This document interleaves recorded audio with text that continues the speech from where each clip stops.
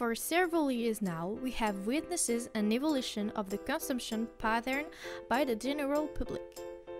While a few years ago, most of the purchases were made in store, the internet now allows us to compare, select, and order our product online 24 hours a day, 7 days a week, all over the world.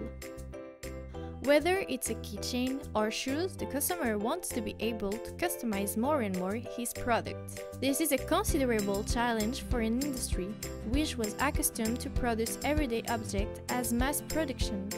The consumer, on his side, is accustomed to have shorter delivery time as well as more and more attractive prices, putting the logistical process that we currently know under great pressure. Industry 4.0 aims to bring all the necessary evolution along the value chain in order to adapt to this change in pattern of consumption. The digitalization goes from the interaction between the various actors in the chain up to the final delivery.